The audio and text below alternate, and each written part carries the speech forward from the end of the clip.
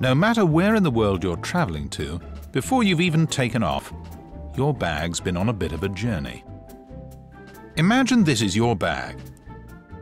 All right, how about this one? Okay, now let's follow it as it makes its way to your plane. Before it enters the Heathrow baggage system, whether you're departing, arriving or transferring, your bag gets a unique luggage tag. This tells the system it's yours, tells it where you're going and which airline's taking you. The barcode tag is continuously read by hundreds of scanners all over Heathrow's baggage network to keep tabs on your bag as it passes through some 30 miles of this kind of thing, 2,500 meters of these, and lots and lots and lots of this. The conveyors take each bag through X-ray machines and other security devices until the tag directs your bag to the airline's own handlers who scan it again. This creates a record of the bag's location and matches it with its passenger. So your bag can't get on a plane you're not on yourself.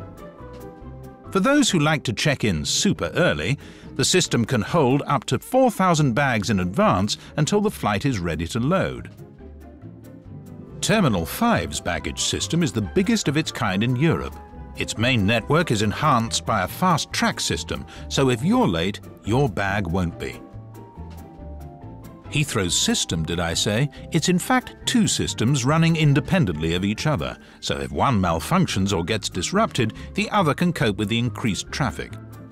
And to make sure it always works, there are two main servers, and every component also has at least one backup server. Oh, and in the extremely unlikely event of a total meltdown, Heathrow can still manually process over 10,000 bags in 24 hours. On your return, your airline takes your bag to the terminal where it re-enters the system, welcomed by that friendly barcode scanner, this time ushering it to the correct baggage hall and one of our 44 reclaim belts. Heathrow's baggage network runs railways, robots, belts, conveyors, containers and hoppers to continuously track hundreds of thousands of bags every second. It has all this not just because this is Britain's hub airport, but because at Heathrow we understand that your belongings belong to you.